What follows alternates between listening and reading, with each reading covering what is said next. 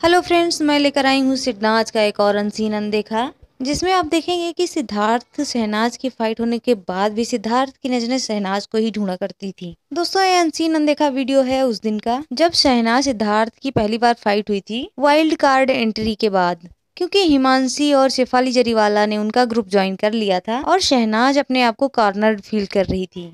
तो उन्होंने सिद्धार्थ से बात करना बंद कर दिया।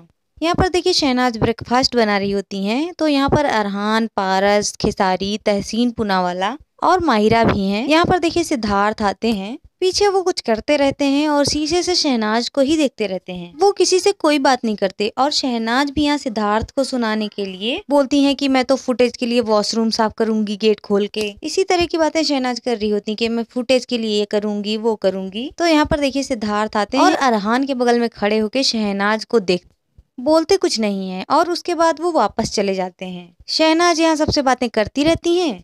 तो यहाँ पर देखिए सिद्धार्थ थोड़ी देर में फिर से वापस आ और जाते पहले इधर देखिए शीशे के पास जाके कुछ करते हैं उसके बाद फ्रिज से कुछ सामान निकालते हैं और यहाँ पर देखिए शहनाज की तरफ़ ही पलट कर देखते रहते हैं। यहाँ पर सिद्धार्थ को बिल्कुल अच्छा नहीं लग रहा होता है क्योंकि सभी लड़के शहनाज से बात कर रहे होते हैं तो सिद्धार्थ बार बार वहाँ पे चक्कर लगाते रहते हैं और कुछ देर खड़े होकर शहनाज को देखते हैं उसके बाद वापस चले जाते हैं। तो कैसी लगी आपको ये अनसीन वीडियो कमेंट करिएगा और अगर अच्छी लगी हो तो वीडियो को लाइक और चैनल को सब्सक्राइब करना बिल्कुल मत भूलिएगा।